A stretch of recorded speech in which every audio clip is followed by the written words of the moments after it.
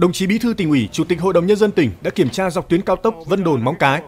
Mặc dù phải tổ chức thi công dự án trong bối cảnh dịch bệnh COVID-19 diễn biến phức tạp, điều kiện địa chất, địa hình thi công có nhiều khó khăn, thời tiết mưa kéo dài, giá nguyên nhiên vật liệu, xăng dầu tăng cao.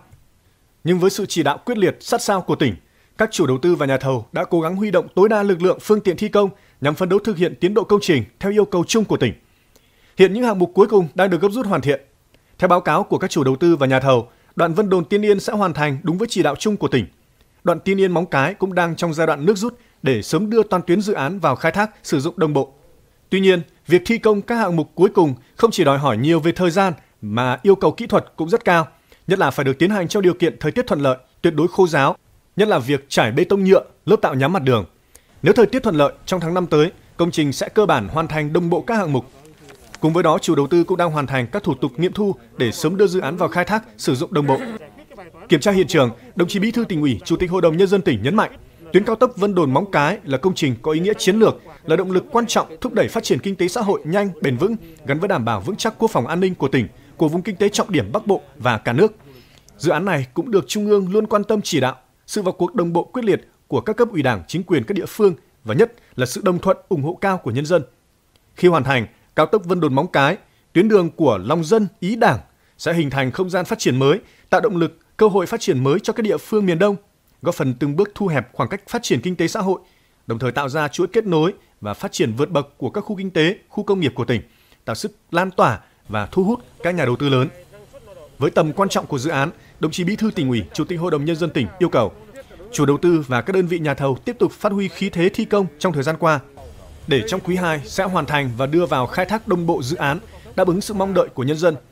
Trong quá trình thực hiện, cần đặt chất lượng dự án công trình lên hàng đầu, nhất là ở giai đoạn nước rút hoàn thiện các hạng mục, phải thực hiện một cách đồng bộ, đáp ứng yêu cầu kỹ thuật, mỹ thuật. Trong đó lưu ý các đoạn đất đắp, phần mái ta luy và các đoạn bản giảm tải.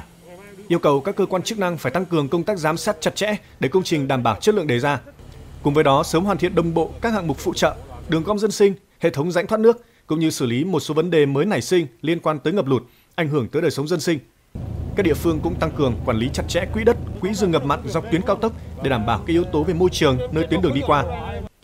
Kiểm tra tiến độ thi công dự án bến cảng tổng hợp Vạn Ninh giai đoạn 1 thành phố Móng Cái. Hiện chủ đầu tư đang triển khai thi công nạo vét, săn lấp mặt bằng, làm đê bao và thực hiện quy trình lựa chọn nhà thầu thi công các gói thầu thuộc hạng mục cầu cảng cùng các hạng mục còn lại. Nhấn mạnh về ý nghĩa của dự án đối với việc hoàn thiện đồng bộ hệ thống hạ tầng và dịch vụ cảng biển của Quảng Ninh nói riêng và cả nước nói chung, nhất là trong giao thương hàng hóa bằng đường biển giữa khu vực ASEAN với Đông Bắc Á.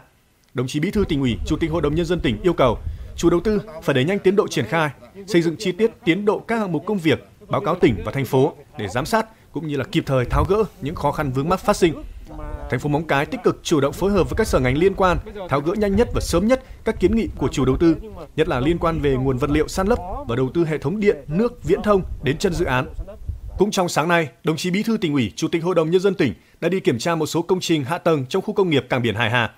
Đồng chí yêu cầu ban quản lý các khu kinh tế tỉnh, huyện Hải Hà báo cáo Ủy ban nhân dân tỉnh, ban cán sự Đảng Ủy ban nhân dân tỉnh về tổng thể tình hình quản lý sử dụng đất, định hướng phát triển ngành nghề, thu hút đầu tư tại khu vực này đặc biệt là những lợi thế rất lớn từ tuyến đường trục chính số 2 mang lại, gắn liền với quỹ đất, quỹ đất mặt nước biển và các đảo Hòn Miêu, Cái Chiên mà hiện nay còn nhiều tiềm năng để phát triển dịch vụ, sản xuất kinh doanh. Qua đó sớm có phương án cụ thể về việc khai thác và phát huy hiệu quả cao nhất các công trình hạ tầng này, nhất là sau khi tuyến cao tốc Vân Đồn Móng Cái sớm hoàn thành.